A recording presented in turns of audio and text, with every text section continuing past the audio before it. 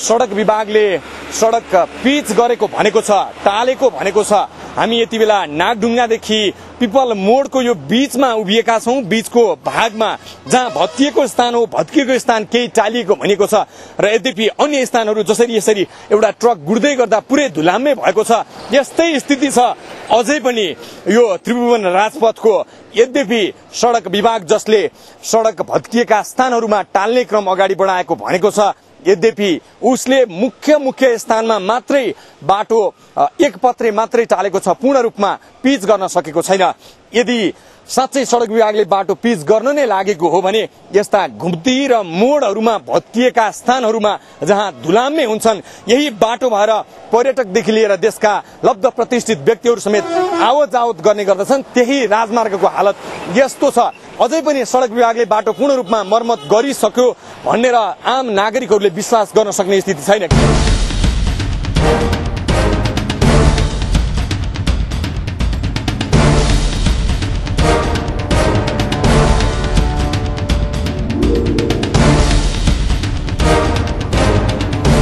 देशका विभिन्न क्षेत्रलाई काठमाडौँसँग जोड्ने एक मात्र पृथ्वी राजमार्गको हरिबिजोगको कथा गत बाइस गते हिमालय टेलिभिजनले प्राइम स्टोरी मार्फत सार्वजनिक गरेपछि यसको मर्मत तथा पुननिर्माण शुरू भएको छ।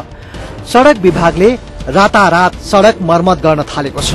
हो यसरी रातारात गरिएको परिवर्तन कति दिगो रहन सक्छ? प्रश्न उब्जिएको छ।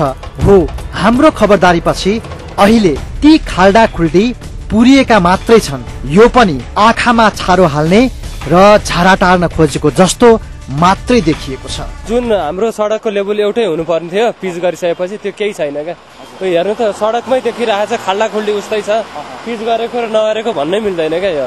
कमसे कम सडक पिच गरेको भनेको त समान हुनुपर्छ। कलङ्कीदेखि थानकोटसम्म गरोस् अलिकति। थानकोटबाट के खाने खोलासम्म गरोस् खाने खोलाबाट धार्केसम्म गरोस् थोरै थोरै गरोस् न। एकैचोटि देखाउने जनताको आँखा छारो हाल्नु दिँदैन यो त छारो हाल्ने पिज हो। हामीले सम्बन्धित निकाय यहाँको हेर्ने इन्चार्जहरूलाई पनि भेटेर बारम्बार चाहिँ यहाँको वस्तुस्थिति बताउँदाखेरि पनि उहाँहरूले ध्यान आकर्षण गर्नु भएन। हजुर हजुरहरूको यो कार्यक्रमबाट चाहिँ उहाँहरूलाई अलिकति चासो परेर यो छारो नआउनेसम्म चाहिँ बनाउन भएको छ।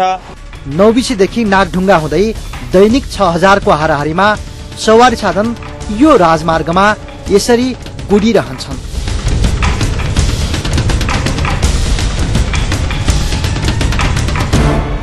तर सडक ठाउँ ठाउँमा भत्किएर खाल्डा खुल्दी परेर आफै बिरामी अवस्थामा पुगेकोले हिमालय टेलिभिजनले पहिलो पटक यसको दर्दनाक व्यथा देखाएपछि बल्ल सडक विभागको चेत खुल्यो र त्यसपछि सडकको पुनः मर्मत तथा टालटुल पार्ने काम रातारात हुन थाल्यो।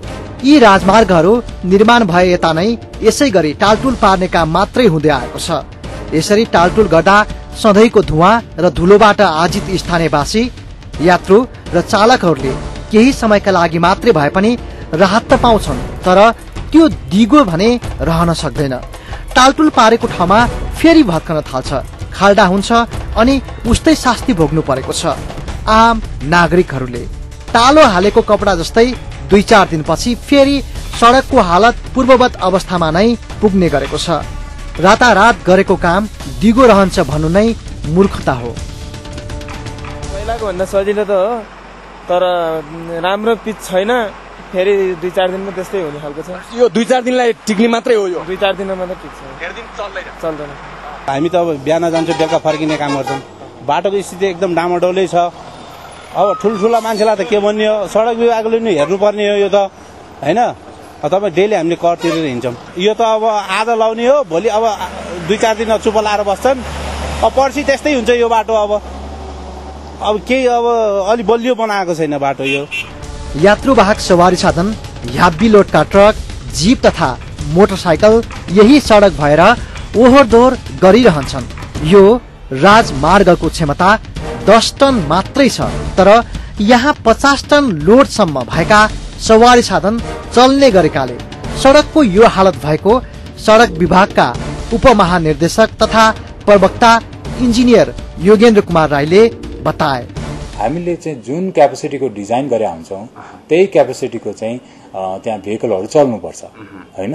अब हामीले दस टन त्यसो भए हाम्रो डिजाइनिङमा पनि कमजोरी भएछ। डिजाइनमा कमजोरी होइन। किनभने अब हामीले सत्तरी टन बोक्ने गरिकन डिजाइन गऱ्यौँ भनेदेखि के हुन्छ भने त्यो रोड एकदमै एक्सपेन्सिभ हुन्छ। तपाईँले त्यहाँ अब भनौँ न अब आधा मिटर चाहिँ बाक्लो या चाहिँ एक मिटर बाक्लो चाहिँ तपाईँले कङ्क्रिट या चाहिँ कालो पत्रे गर्नुपर्ने हुन्छ त्यो चाहिँ अति एक्सपेन्सिभ हुन्छ।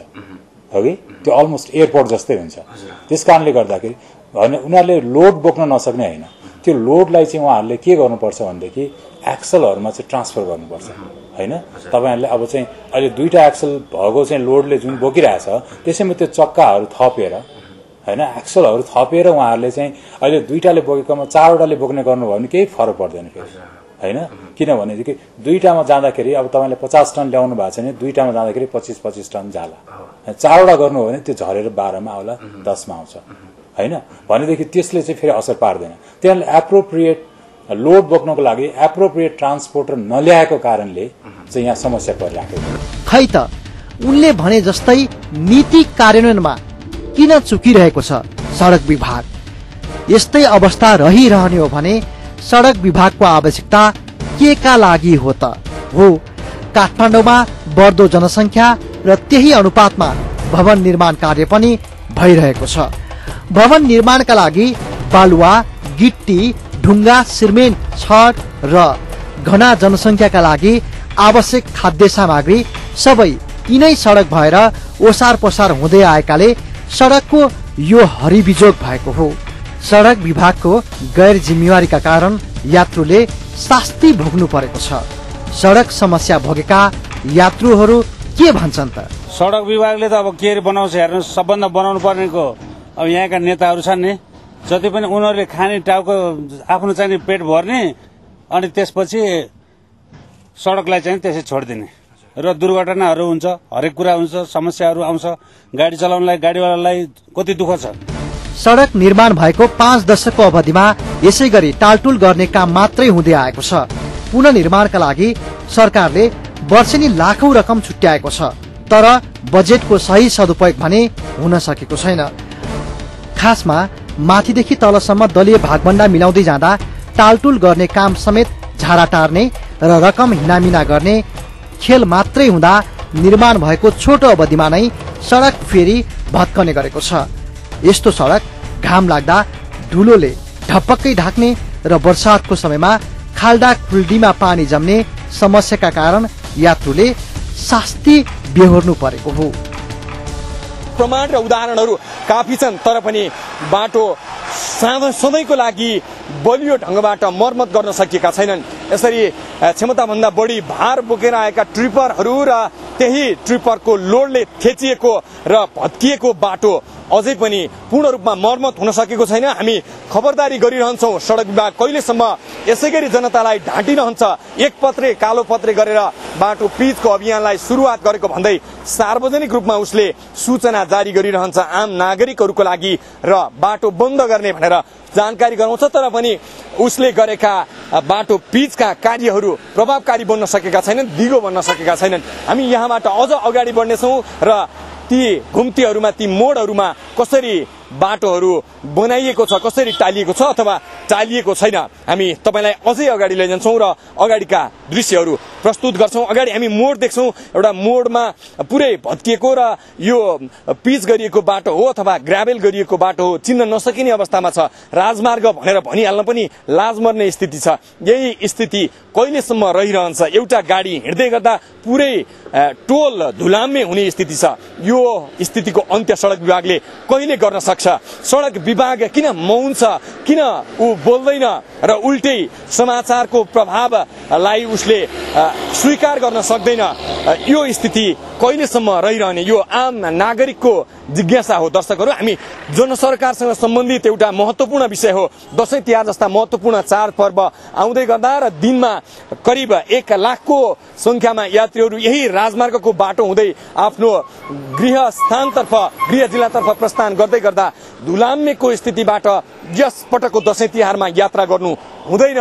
उनीहरूको लागि सुरक्षित र उचित मापदण्डको राजमार्ग सडक विभागले निर्माण गर्नै पर्छ। हामी यो अभियानमा छौँ। जबसम्म सडक विभागले यो राजमार्ग पूर्ण रूपमा धुवा धुलो र भत्किएका खाल्डाखुल्डी पुरेर सडक विभागको आफ्नो दायित्व पुरा गर्दैन तबसम्म हामी सडक विभाग र बिग्रिएको यो त्रिभुवन राजपथको फलोअप निरन्तर गरिरहनेछौँ।